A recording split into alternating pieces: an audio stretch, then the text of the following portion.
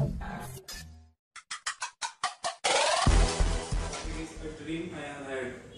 Last last night I had a dream that I, um, I won a jackpot of about ten billion dollars, and uh, I was I was I was happy, and I was jumping up and down. I was too much happy about knowing that I won a jackpot. So uh, uh, immediately I went to my house and told everybody, my mother and father, that I won a jackpot, and they all were very.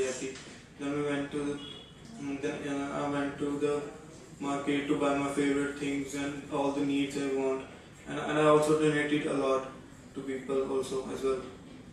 And uh, uh, I was like a sensation in uh, that time. I was also getting popular on the social sites also that a kid a kid had won a jackpot and uh, I was being a sensation to the world that time. Everyone was seeing and I was I was like a s- oh, celebrity overnight and. Uh, then I also uh, also bought a house for myself, uh, which has a, a nice pool and a, and a car and a bike and a jacuzzi and nice everything was a huge pet and everything expensive. And uh, oh, then I as well uh, went home and uh, went on a tour with my with my parents to Europe and we mm, enjoyed a lot there. I was having too much fun. And, um, it was I was on the ninth cloud, like I was feeling so nice. And then at the end at the end I was uh, uh, after some years in after some years uh, at the end I was gonna, I was about to get married to a princess princess of England.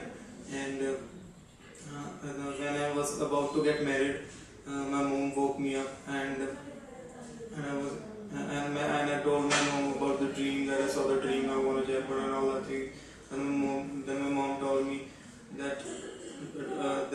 it's not the jackpot or anything else that makes you rich or anything. It's the it's the hard work, it's the hardship that pays off pays off in your life to make you successful.